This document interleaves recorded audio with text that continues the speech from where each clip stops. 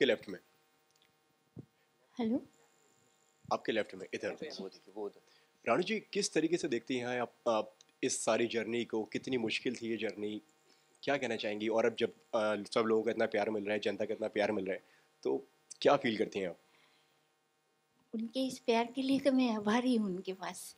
प्यार के लिए जो मुझे इतना प्यार दिया उन लोगों ने इतना मुझे चाहा इस बात गाने के लिए इसके लिए मैं उनके पास, उनको तो हर वक्त मैं शुक्रिया अदा करती हूँ कि उनके लिए और फिर हमारी ये जो हेमिस जी है, इनका जो मुझ पर एहसान ज़रूर है, ये भी तो एहसान की बात होती है। मगर फिर भी उन्होंने मुझे, मेरी आवाज़ के ऊपर डिपेंड किया है कि मैं गा सकूँगी। मतलब सुर सुर के ऊपर उन्होंने, जो अभी तक बताया उन्होंने। तो उन्होंने भी मेरे लिए बहुत एक मतलब मुझे इस तरह की मुझे इतना मदद मिली है। और प्यार भी ज़रूर। प्यार प्यार अगर ना हो तो शायद मेरे दिल दिल से इतना सारा गाना शायद नहीं हो पाता था शायद। क्योंकि मुझे तो जि, जिन्होंने बनाया जी वो उसका प्यार है। यानी गॉड का है आई मीन जीजस का यीशु की। तभी तो मैं गा सकी। और फिर आप लोगों की इतना प्यार भी उनके वजह से मुझे मिली है। तो मैं आपका भी आप, आप सबका आभारी हूँ गॉड के भी आभारी हूँ और ये जो अपना तपन दास ये तो हमारे लिए बहुत मेहनत की है बहुत कि हमें आ, उनका उन्होंने तो मेरे तपंदा तपंदा हाथ उठाई यहाँ तक उन्होंने मुझे छोड़ा इनके वजह से। जो हमें हेल्प किया और अतंद्र को भी तो उनका भी बहुत शुक्र गुजार so I think it it just coexist that is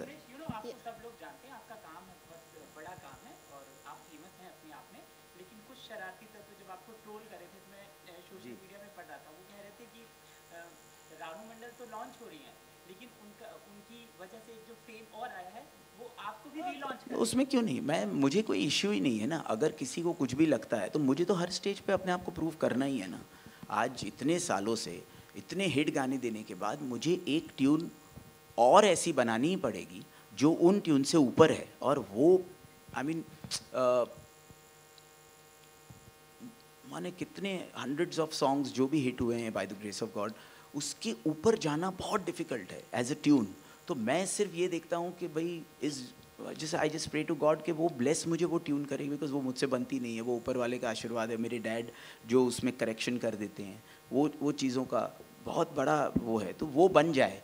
उसके बाद अगर कोई पॉइंट ऑफ़ व्यू ये कहता है कि भाई अरे हिमेश को भी एक्स्ट्रा नेम एंड फेम मिल रही है। किसी चीज़ की तो फाइन उसमें उसमें मैं वो एंगल से सोच ही नहीं रहा हूँ। मेरा ये है कि मुझे मेरे पिछले काम से ऊपर जाना पड़ेगा। वो वो उस जाने के लिए अच्छी नीयत से जो भी मैं कर सकूँगा मैं करूँगा।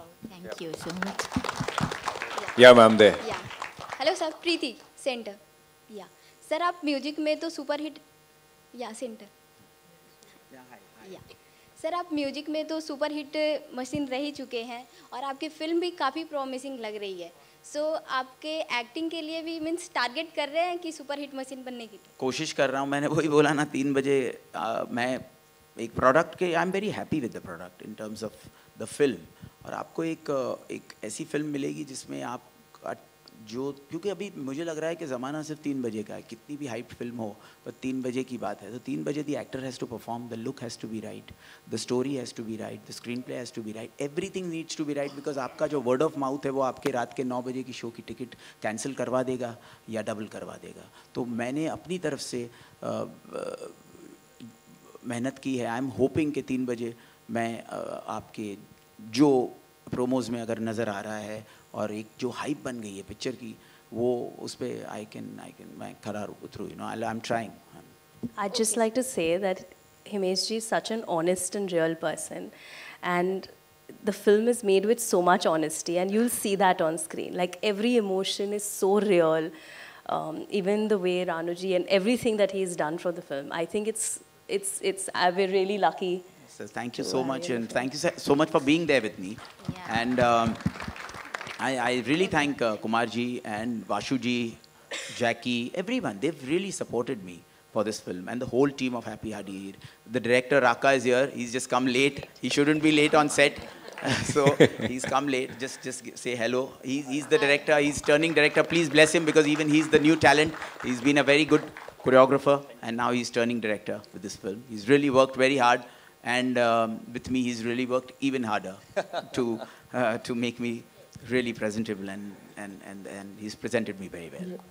हम लोगों ने कुछ नहीं किया। इनके लिए बस अब यही है कि हमने हमारी तरफ़ से कुछ जो हो सका हमने किया। लेकिन अब आप लोग इन्हें और आगे लेके जाइए इतना बड़ा बनाइए और हर जगह पे जहाँ टैलेंट देखे उन्हें आगे बढ़ाने की कोशिश कीजिए। बिकॉज़ हमें भी किसी ना किसी ने सपोर्ट किया था तब हम आगे आए थे। क्या बात है?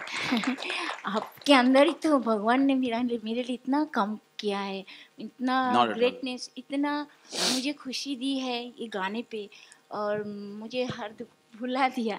सब ऊपर वाले नहीं सच और मैं लेकिन इनके अंदर से इन्हों इन्हीं के वजह से मुझे अगर इन्होंने मुझे ना ये मौका दी थी तो मैं कभी नहीं गा सकती ये बात लेकिन मैं साथ साथ ये भी कहना चाहता हूँ जैसे अतिंदर जी ने वो वीडियो शूट किया तो ये नहीं होते तो वो नहीं होता। तपन जी इतना सपोर्ट नहीं करते तो नहीं होता। दीपशिखा जी मुझे हाई नहीं करती ये फ़िल्म ही नहीं बनाती तो ये नहीं होता।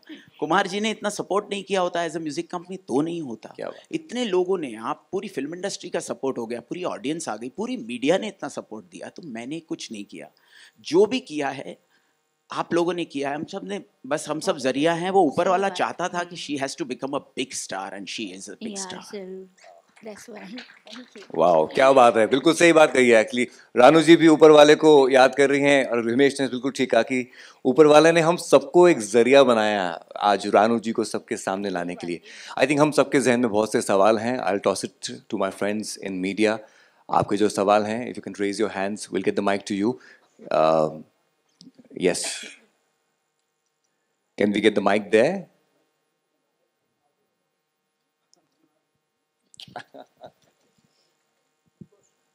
तो मुझे कभी अच्छे रिव्यूज़ कुछ लोगों से मिले कभी नहीं मिले तो मैंने कभी ये नहीं सोचा कि वो क्यों क्योंकि वो एक्टर की जो दुनिया है वहाँ पे मैं सिर्फ़ शुरू हो रहा हूँ लेकिन हैप्पी हार्डी हीर में तीन बजे जब आप फ़िल्म देखेंगे तो शायद आपको मुझे ऐसा लग रहा है कि हमने मेहनत की है और आपको एक बहुत इम्प्रूव्ड एक्टर मिलेगा ये मैंने कोशिश की है जितना।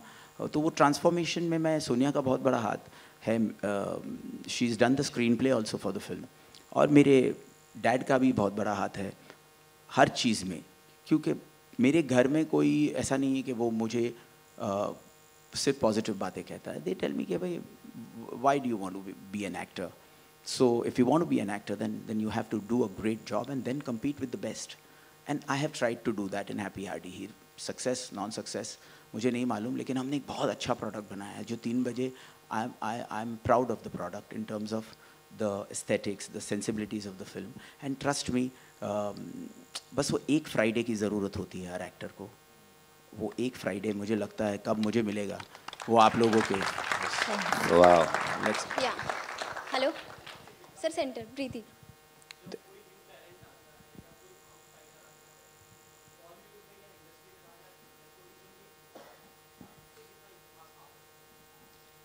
मुझे आप कह रहे हैं? जी दे, देखिए नेपोटिज्म में मुझे लगता ही नहीं है कि नेपोटिज्म या ये एक एक पॉइंट ऑफ़ व्यू है। इट्स लाइक like कि मैं यहाँ से छः देख रहा हूँ आप उसको नौ देख रहे हैं। दोनों ही अपनी अपनी जगह पे राइट हो गया। तो नेपोटिज्म क्या है? अगर कोई सुपरस्टार है या कोई सुपरस्टार फैमिली है, जिसने इतनी मेहनत की है, अब उसका अगर बच्चा इस फ़िल्म लाइन में आना चाहता है तो उसमें उसका इश्यू होना ही नहीं चाहिए बिकॉज़ वो उस लाइन में अपनी कोशिश कर रहा है और उस, वो जिस एक्सपेक्टेशंस के लेवल पे जो आता है, देखिए कहीं ना कहीं अगर मैंने हैप्पी हार्डी हीर में अच्छा परफॉर्म किया, सिर्फ़ अच्छा तो आप उसे ब्लॉकबस्टर दे देंगे। क्यों? क्योंकि आपके एक्सपेक्टेशंस लो हैं।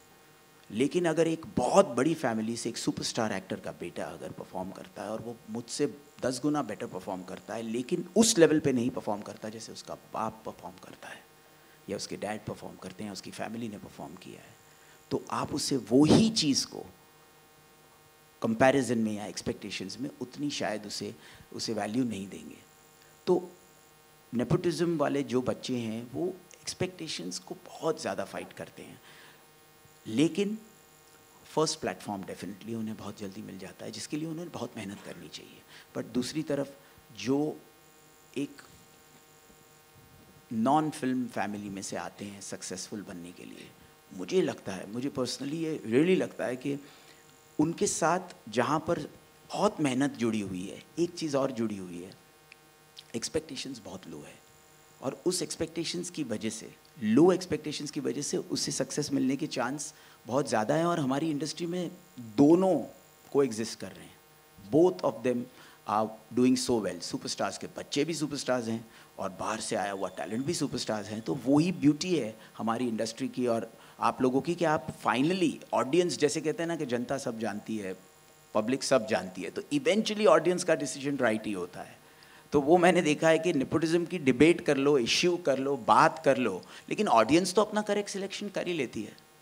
जब रणबीर कपूर की कोई बात होती है तो कोई नेपोटिज्म की क्या बात है? लेकिन उन्हें भी तो definitely he is he is got a break because he is he is he is from such a such a such a big family but that doesn't mean he is less talented he is a superstar and जो uh, नए तरीके से आते हैं वो भी हमने देखा है कि कितने बड़े